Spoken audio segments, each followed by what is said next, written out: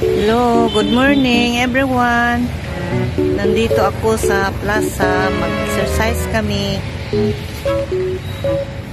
Plaza ng Iligan.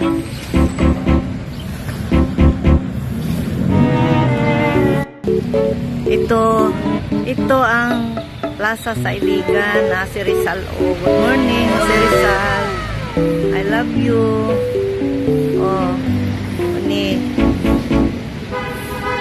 Wala pa nakasimig. Wala pa, wala pang sweeper. Oh, nanada ang sweeper. Daga pang sagbot. Anong sweeper? Oh, nag-sweeper na.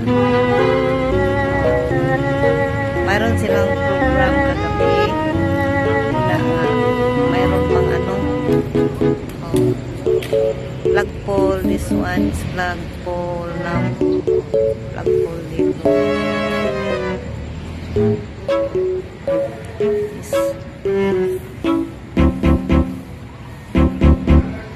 maghintay pa kami nakasama namin.